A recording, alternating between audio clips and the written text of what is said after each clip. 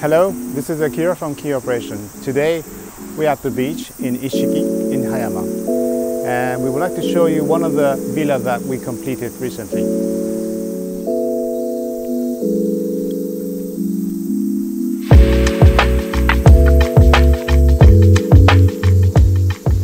Hayama is a beautiful seaside town situated on the Miura Peninsula. It is 60 kilometers away from Tokyo. Now we're at the Ishiki beach, one of the most well-known in the area. Beach is rather calm and discreet compared to the other beaches, maybe because we have the Emperor's Villa here. Since the Meiji period in 19th century after the samurai period, this area had many villas from the VIP people from the government. The area where we have the site used to be the villa from the politician called Taro Katsura. He was a general and also became a prime minister and led the war against Russia in the 19th century. The important meeting was held at the villa at the time during the war and now the villa is all split in small pieces of land. There was a large house like 40 years ago, but as the land was split into pieces, the land lost the required two meter width access to the road, and the land was all empty for many years. As our client has another house on the other side, the two-thirds of the private road was available for the land and will fulfill the two meter access to the road. There are many narrow passages in the area, and the houses are quite close to each other. Even though it is not urban area, as the mountains are quite close to the sea, the land is quite narrow and the area is quite dense. The area is stepping down towards the sea from the mountainside. The adjacent land at the north is higher than the site, and the house at the north is very close to the site border and looking down to the site. Land on the south is lower than the site. At the early design stage, we were studying the setting out and we were looking at the smaller buffer exterior space between the adjacent land. As we were developing the design, the client requested to introduce a swimming pool, and that made us think to cover the pool from the adjacent houses at the north. However, if the bottoms are too high, that would disturb the view to the sea from the house at the north. Originally we had the volume in L shape, then we split the volume in five pieces based on the function of the house. Then we made the volume to have the pitched roof and control the relation with adjacent buildings. So let's look through the volumes in real. So this is the, the storage volume where we contain uh, maintenance kit for the swimming pool and some barbecue and some external furniture. And then uh, we have the, the bathroom and the car park volume here where we have the bathroom. And then this is the, the dining volume, where we have the kitchen and the dining. And then we have this living room volume at that corner. And this volume is a bedroom volume. The bedroom volume has two stories. The dining volume is lower at the back, that it gives the space and the light to the garden of the house behind. The living volume is hiding the greenhouse, which is fairly close to the side border. We tried to respect the view to the sea from the greenhouse, so we made the lower part roof very low. Here's the approach to the house. We used to have the wall against this private street, but we made it open like this. Actually, this stone is reused. We used the, the one which used to be here and made it lower. So now the space is quite open, so it's easier to access by car. And we have this pavement along the slope, and here's a car park. The, one of the character of the site is the three large camphor trees. We also have some more on the other side as well. We heard that these trees are planted after the war against Russia as a memory. These trees influence a lot our layout of the volumes. Here we see two volumes. This is the storage volume and this is the, bathroom and car park volume. As we want to make the appearance subtle, we make the roof of the volume lower towards the front. We also avoided to have any windows towards the front. We wanted to make them look like just simple huts. Here's the back access to the house. We have the internal car park access and the back of the dining volume. When you come back from the beach, you want to drop off your sand and you can use this shower here. And in between the two volumes, we have the main approach. We go up the steps towards the courtyard. Here we have the hidden door towards the car park.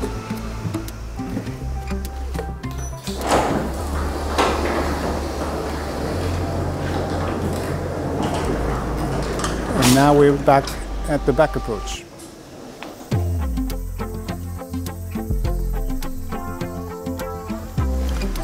So I'm back from the car park and here we have a large window which is actually um, a bathroom with a jacuzzi. And we carry on. And now we're approaching to the entrance which is here.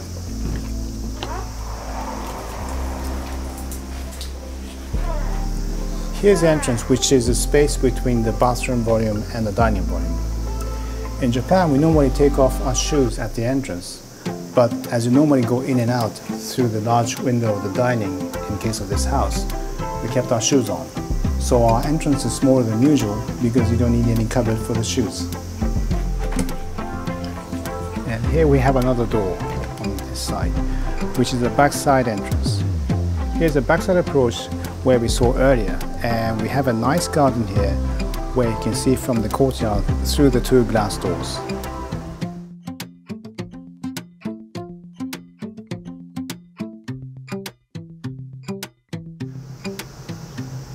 Okay, now let's go to the bathroom side. The door towards the bathroom is a same wood cladding as external walls, so it's kind of half hidden. Um, let's go inside. And here we have the hand basin. And this is the washing room area here. And this room itself is a changing room. Most probably this room will be the first place where the guests will come in this house. They will change the swimming costume here. Now we're at the bathroom. So we have the shower here and uh, the jacuzzi. So the main feature here is the sauna, which is electric. So after you're heated up, you can take a shower here or dip yourself in the cold water in the bathtub and cool down. Otherwise, you can go out to the poolside through this window and get into the pool.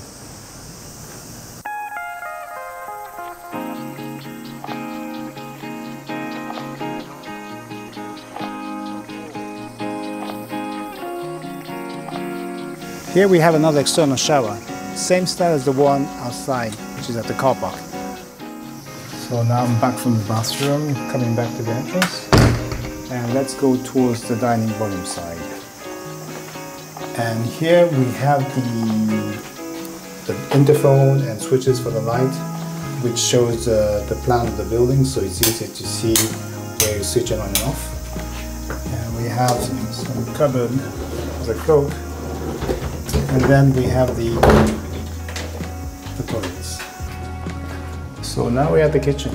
The kitchen is facing the dining and we have the some Viking grill here and we have some cupboards and a sink and actually this is a cupboard for the rice cooker which actually slides out and actually even though you don't slide out you can use the extractor fan so that uh, you can extract the steam from the rice cooker. So here we have the, the pantry where we put our food inside and we also have another door and here's an access to the back and we can put our bin here so it can go directly from the kitchen. So this side we have the sink and we have some switches and sockets on the edge of the counter as well. And um, we have also some cupboard on the other side too. And these panels are made of cement and plywood combined.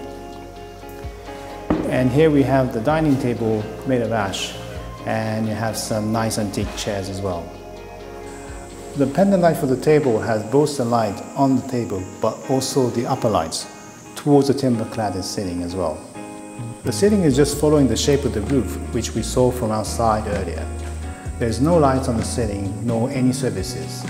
The air conditioning is not from the ceiling but from the wall from the Punka diffuser. At the dining we have a large window here, so let's open it. This is the timber window sash, which is well insulated and it has a good gear that it slides very well.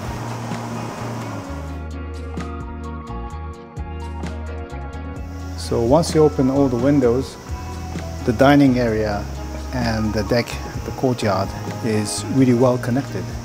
You can use as one space. In front of the window, we have the pergola made of galvanized steel. This pergola will give a shade in front of the window, and if you want to have lunch outside, you can put down the shade.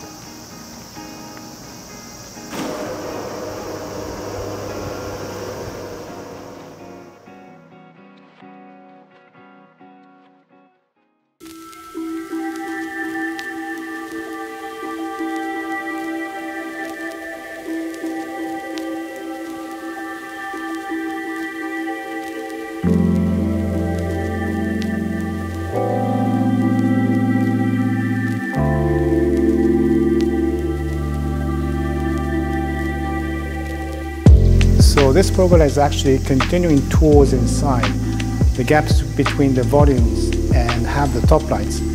And these metal louvers are used as a shading for the top lights. Here's a gap between the dining and the living. There's a level difference between the dining and the living area. The ground level is going up toward that corner and the level difference within the site is more than 2 meters. Even though we're burying the building more than 1.5 meter at the corner, we still lifted like 40 centimeter, which also helps to separate the dining and the living softly. Even though the dining volume and the living volumes are separated at the roof, the lower part is all open and connected. In general, we wanted to make the house finish to be casual and be rough, so we use a precast concrete drain gutter for the step. Here, we take off our shoes. Most of the volumes have timber structure, but only these living and dining volumes are made of steel structure. Actually, these two volumes are one volume structurally, and at this area, there's only one steel post to support the vertical load. As same as the dining volume, we have a tilted roof and the ceiling following the shape of the roof. We have a roof window so that the light can come through, like this. During the night, we have a linear light fitting on this wall and it can lit the timber finished ceiling. On this side of the living room, we have a fireplace. Actually, this is an integrated stove. So in order to match the scale of this living room, we made the width of the breast wider. And we've also made the opening wider as well. Actually, this stove is quite advanced, so it can be manipulated with a smartphone. For this living room, we have the recessed TV monitor. Normally it is hidden inside the cupboard and it will be lifted up electronically when you want to see. So now let's go to the next volume.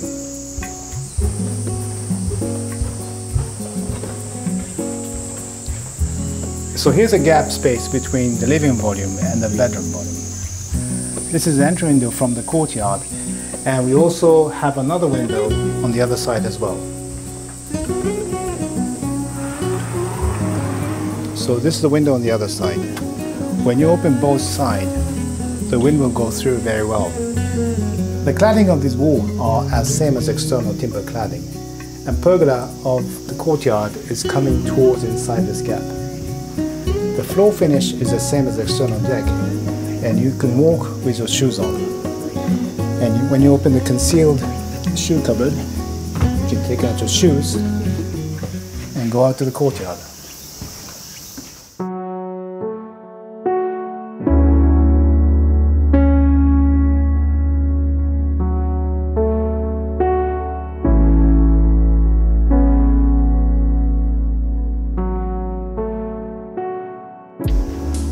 So now let's go through this corridor. By the way, we have a hidden mosquito net here. This. In Japan, we have these nets for most of the windows for the residential buildings. But for the window against the dining and the living, we didn't have, as we wanted to use the space continuously. Only for the entrance for the bedrooms and the windows of the bedrooms has these nets. At this corridor, we have a toilet here. And then we have a window only at the lower part in order not to see the neighbors. You can just see the green. And for this wall, we have a picture rail, so you can have some picture on the wall as well.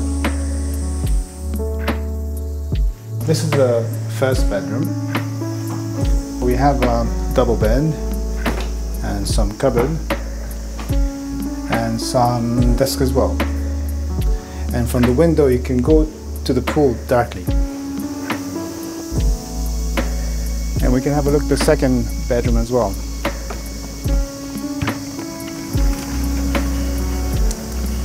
This room, the arrangement is the same as the first one, but we have the twin bedroom. We have a desk as well, and we have a cupboard.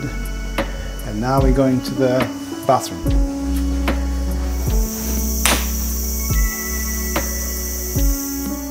Here's the second bathroom.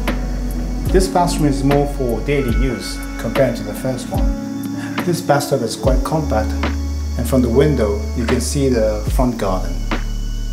Let's go to the second floor. Let's go upstairs.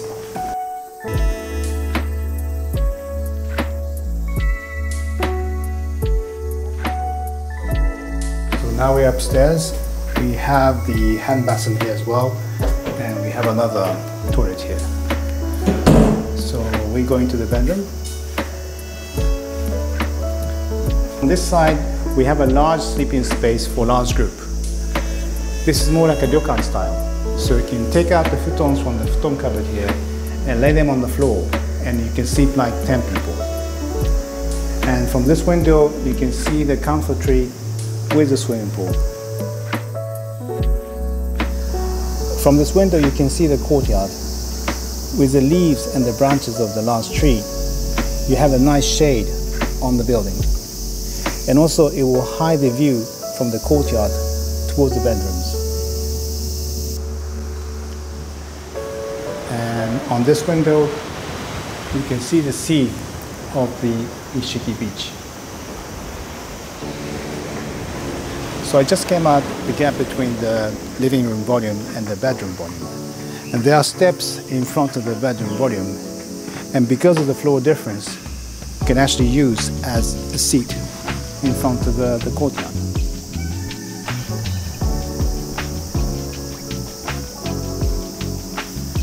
As mentioned before, this existing large camphor tree is so important for the whole building. It gives the shadow to the courtyard and the bedrooms. It hides the bedrooms from the courtyard and it gives a nice sound of the wind etc. We have respected this tree when we did the layout of the volumes. And the main reason why we have the bedroom volume roof to lower down this way is because it's facing the tree of the courtyard.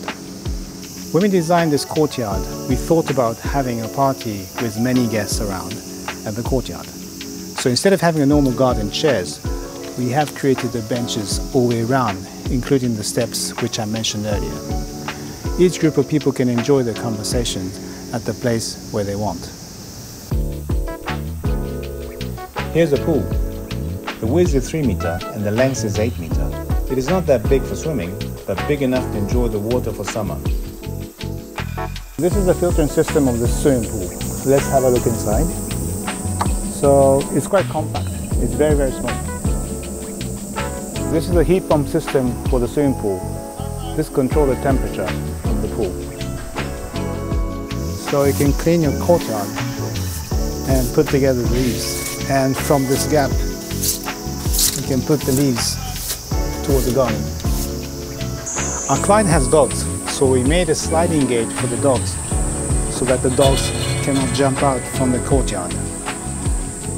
We also have a large security door for when you're away.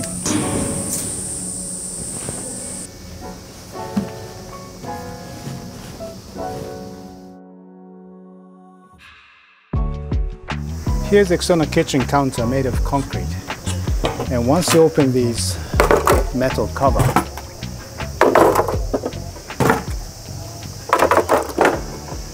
the sink and the tap will appear.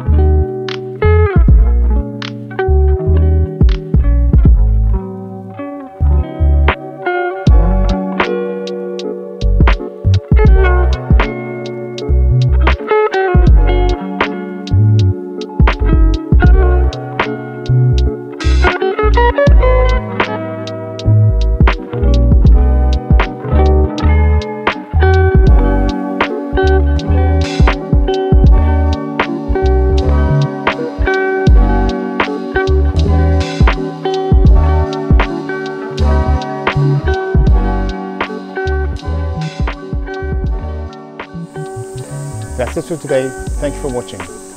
Now I want to enjoy the sauna and the swimming pool. Bye bye.